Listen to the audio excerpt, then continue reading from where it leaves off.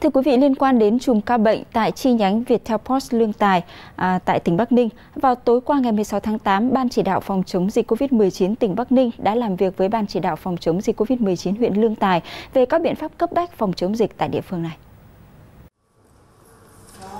Tính đến chiều 16 tháng 8, tại 8 trong tổng số 12 xã thị trấn của huyện Lương Tài, đã có 32 trường hợp dương tính với SARS-CoV-2. Riêng ngày 16 tháng 8 ghi nhận 11 ca. Toàn huyện ra soát được 449 trường hợp F1, 1.865 trường hợp F2. Ngay sau khi dịch bệnh xảy ra, huyện đã tổ chức truy vết khoanh vùng dập dịch. Toàn huyện thành lập 78 chốt kiểm soát dịch bệnh, trong đó có 73 chốt cấp xã và 5 chốt cấp huyện.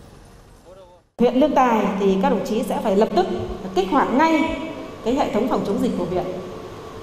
ở mức cao nhất để chúng ta triển khai tổ chức thực hiện những cái nhiệm vụ đảm bảo trơn tru, đảm bảo đồng bộ và đảm bảo một cách hiệu quả. Ờ, Ban chỉ đạo phòng chống dịch của huyện thì tôi đề nghị là các đồng chí tập trung toàn lực vào để khống chế dịch bệnh một cách sớm nhất.